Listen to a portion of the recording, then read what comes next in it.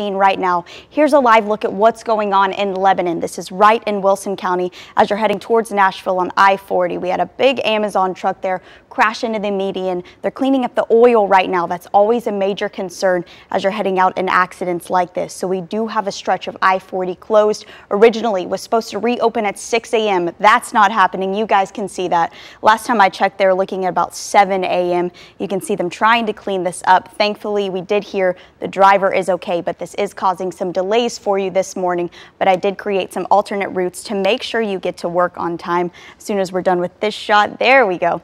We're going to head on out to Lebanon, show you where exactly this is on the map. So if you get off of the interstate before this closure right here between Highway 109 and South Lebanon Street, you will make it to work on time this morning by taking Lebanon Road. I would get off around Sparta Pike or before South Lebanon Street to avoid some of those delays. Also seeing some delays if you're heading east the other direction.